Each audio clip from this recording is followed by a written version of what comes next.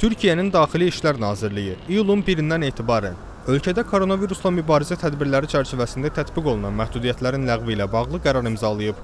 Qərarın ilk hissəsində bildirilib ki, ölkə üzrə küçəyə çıxmaq və şəhərlərarası səyahətlə bağlı tətbiq olunan qadağa 1 iyul 2021-ci il tarixindən etibarən ləğv olunur. Eyni zamanda fəaliyyətinə məhdudiyyət tətbiq olunan bütün iş və xidmət sahələrinin fəaliyyəti yenidən bərpa olunur.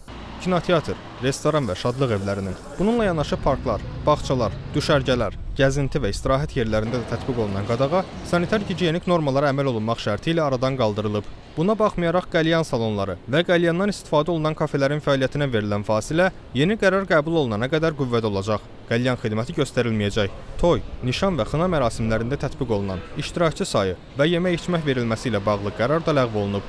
Banqladeş, Braziliya, Cənubi Afrika, Hindistan, Nepal və Şri-Lankadan gələnlər, eyni zamanda son 14 gündə bu ölkələrdə olanlar üçün məcburi karantin müddəti iyulun 1-dən etibarən ləğv olunacaq.